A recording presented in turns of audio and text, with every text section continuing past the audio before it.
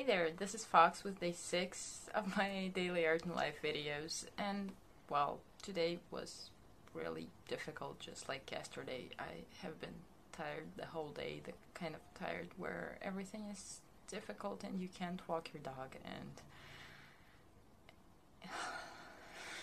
yeah, I don't want to talk about it.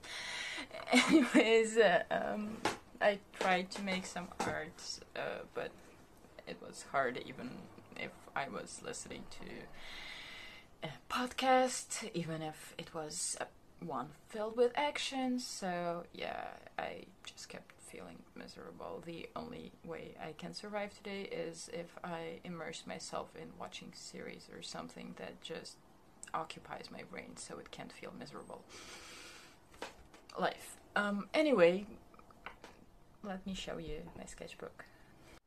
Yeah, so basically, my sketchbook today is a bunch of setups for future work. Um, I am not capable today of producing something of value. It's alright, I guess.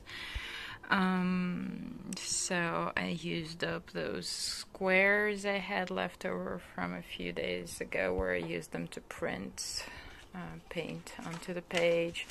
And I did this bronze colored shiny spread, which is going to be the grounds for something else later on. And there's this catster guy saying or not.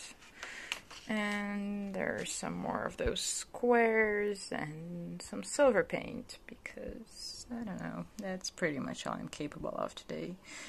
And then I had to stop because trying to be productive just did not work today. But yeah, there are some new backgrounds that I may be able to use later on. Honestly, I don't know what to do when I'm like this because I hate making videos where I'm saying that I feel horrible, but at the same time, I really do not want to lie about stuff like this and just, I don't know, lying and, pretending to feel good sucks even more. I don't know, I guess I'll just try sharing the reality of the life that I have. I did open my sketchbook, so yay me. So thank you for watching, and um, I hope it gets better eventually, and I'll see you tomorrow.